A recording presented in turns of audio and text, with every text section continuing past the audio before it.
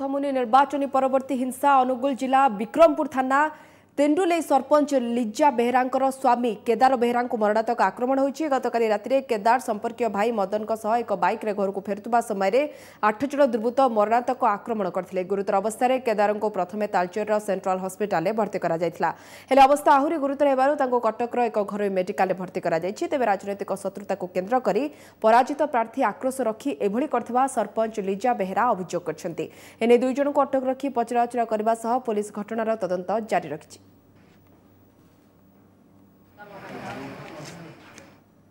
গত ଇଲେକ୍ସନ୍ ପୂର୍ବ ଶତ୍ରୁତା ଆଉ ତାଙ୍କର ଡାହାଣ ହାତ ଡାହାଣ ଗୋଡ଼ ଭାଙ୍ଗି ଦେଇଛନ୍ତି ମାରିକି ମୁଣ୍ଡ କାନ ଆଙ୍ଗୁଠି ପାଦ ସବୁ ପୁରା ହାଣିକିନା ଖଣ୍ଡିଆ କରିଦେଇଛନ୍ତି ମାନେ ସେ ରୀତା ଦାସ ଇଲେକ୍ସନ୍ ଠିଆ ହେଇଥିଲା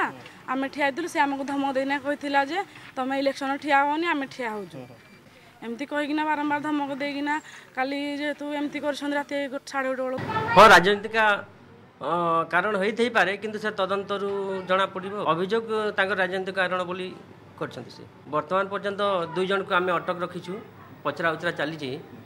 ତେଣୁ ଅନ୍ୟମାନଙ୍କୁ ବି ଆମେ ଖୋଜା ଚାଲିଛି ସେମାନଙ୍କୁ ଅତି ଶୀଘ୍ର